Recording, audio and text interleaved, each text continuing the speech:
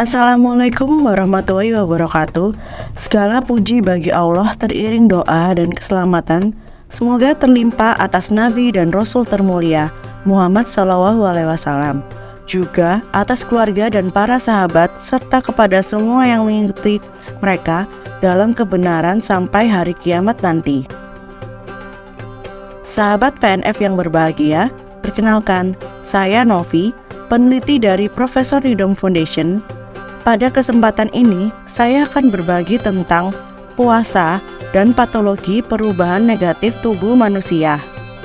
Sahabat muda PNF yang terpelajar, bulan puasa merupakan kesempatan emas dalam mendulang pahala yang besar apabila dijalani dengan syariat yang berlaku dengan baik. Seperti umumnya, dalam menjalankan puasa, tubuh kita tidak jarang kali mendapatkan banyak gangguan dan halangan dan gangguan atau halangan ini kerap sekali bisa mengurangi kekhusyukan kita dalam menjalankan ibadah puasa.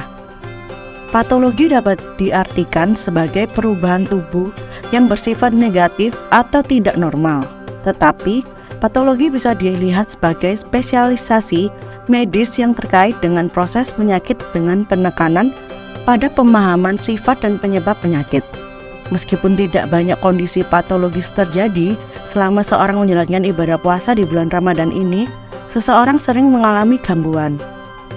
Namun, tetap perlu diperhatikan peran satu organ yang penting, yaitu organ digesti atau saluran pencernaan atau perut. Sahabat PNF, manusia rentan terkena gangguan kesehatan fisik jika perutnya bermasalah. Oleh karena itu, perlu mendapat perhatian saat menjalankan ibadah puasa. Nah, apa yang dimaksud dengan keadaan patologis yang muncul saat puasa? Cara berpuasa yang salah, baik disadari atau tanpa disadari, akan membuat tubuh terinfeksi penyakit atau gangguan yang ringan. Namun, walaupun penyakitnya terhitung ringan, akan tetapi jika diakumulasikan dengan penyakit yang lainnya, bisa merepotkan pelaksanaan ibadah puasa secara khusyuk. Sahabat PNF yang terhormat, marilah kita membahas keadaan patologis yang muncul saat puasa. Antara lain, yang pertama, radang pada pencernaan. Patologis radang merupakan sebuah penyembuhan atau healing di mana sel-sel dan jaringan beradaptasi dan kondisi saat puasa. Biasanya, sehari-hari di luar bulan Ramadan bisa bebas makan dan sebaliknya saat puasa tubuh tidak akan menerima makanan atau minuman selama 12 jam lebih. Salah satu dari sekian banyak organ pencernaan yang sering mengalami radang adalah organ lambung. Naiknya asam lambung saat perut kosong adalah hal yang biasa dialami oleh beberapa, beberapa orang saat sedang berpuasa. Ada rasa terbakar di sekitar ulu hati dan tidak nyaman di perut, di mana kondisi tersebut, sel-sel radang akan melakukan healing atau penyembuhan dengan beradaptasi dengan keadaan naiknya asam lambung. Pencegahan yang dapat dilakukan adalah hindari makan makanan yang terlalu pedas dan minuman bersoda saat buka puasa dan sahur dan makan dan minumlah secukupnya seperti yang dijelaskan oleh surah Al-Araf ayat 31. Ya bani آدم خذوا زينتكم عند كل مسجد وكلوا واشربوا ولا تسرفوا إنه لا يحب المسرفين Artinya, hai anak Adam, pakailah pakaianmu yang indah di setiap masjid. Makan dan minumlah, dan janganlah berlebih-lebihan.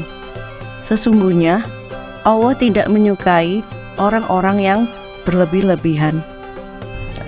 Yang kedua, sembelit atau konstipasi. Konstipasi atau susah buang air besar biasa dihadapi saat berpuasa. Apabila tidak segera diatasi, sembelit ini bisa menyebabkan ambeien, rasa nyeri di saluran dan gangguan pencernaan yang membuat perut terasa kembung. Apabila dalam kondisi yang parah, ambeien dapat menyebabkan pendarahan. Pencegahannya, perbanyak minum air dan konsumsi serat saat buka puasa dan sahur. Yang ketiga, hipoglikemia Asupan gula adalah salah satu sumber energi bagi tubuh kita. Zat tersebut diperoleh dari makanan yang mengandung karbohidrat. Kemudian diproduksi oleh hati. Tidak makan dan minum selama lebih dari 12 jam saat berpuasa dapat menimbulkan kondisi hipoglikemia. Sebuah kondisi yang terjadi ketika kadar glukosa darah turun di bawah batas yang ditentukan yaitu 4 mmol per liter atau 7 mg per desiliter. Gejala yang sering dialami adalah detak jantung tidak beratur, cepat, kulit pucat, berkeringat, mati rasa pada lidah. Pencegahan yang dapat dilakukan yaitu kurangi makanan yang terlalu manis saat sahur sehingga jumlah gula darah di dalam tubuh tetap seimbang. Turunnya gula darah ini justru biasanya disebabkan karena tubuh terlalu banyak mengonsumsi karbohidrat atau makanan manis di saat sahur dan memicu tubuh memproduksi insulin lebih banyak. Sahabat PNF yang terhormat, demikian uraian tentang puasa dan kondisi patologis tubuh. Semoga Allah SWT senantiasa memberikan kekuatan, keberkahan, dan kemanfaatan kepada kita untuk menunaikan ibadah puasa di bulan Ramadan ini dengan penuh nikmat dan syukur. Semoga kita termasuk orang-orang yang mencintai dan dicintai oleh Allah Subhanahu wa taala dan Rasulullah Shallallahu alaihi wasallam. Amin ya robbal alamin. Terima kasih. Selamat menjalankan ibadah puasa Ramadan. Wassalamualaikum warahmatullahi wabarakatuh.